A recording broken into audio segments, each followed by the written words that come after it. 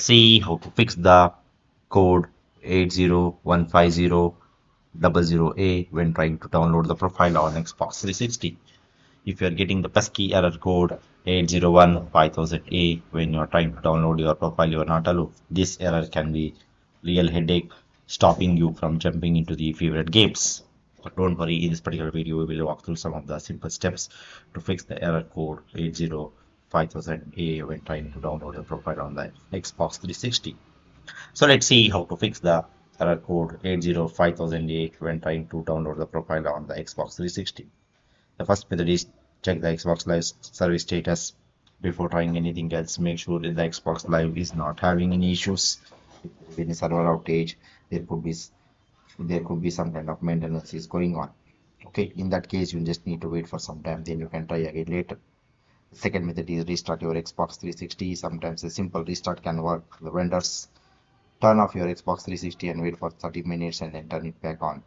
This can reset your network connection and might help you to clear up the error. The third method is clear the system caches. Clearing the caches removes the temporary files and it can often fix the error. So make sure to clear your Xbox caches before trying the other fixes. So go to settings, system, system and storage, highlight any storage device, choose the clear system caches. The fourth method is test your Xbox Live connection. Make sure your Xbox 360 is properly connected to the internet. Head back to the settings, system and network settings, choose your network and select Xbox. Test Xbox Live connection. If there is any problem, will prompt it. The fifth method is delete and re-download your profile. Sometimes your profile might be corrupted.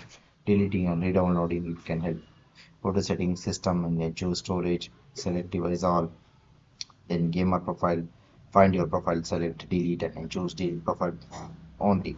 After that you can re-download your profile from the xbox live.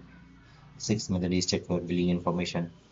Error 8015000a can sometimes be related to the outdated or incorrect billing information so check and see whether that is the issue. Visit the official Xbox website and sign into Microsoft account. Check the billing details and update any outdated information. The seventh method is reset your password. A password might cause the error, so make sure to jail your account password to fix the issue. And the eighth method is contact the Xbox support team. If you have tried all other troubleshooting methods and if you're still facing the problem, you can contact the Xbox support team for further assistance they have expertise they will help you to fix the problem and they will give you the better solution. Okay? So that's all about this. Thank you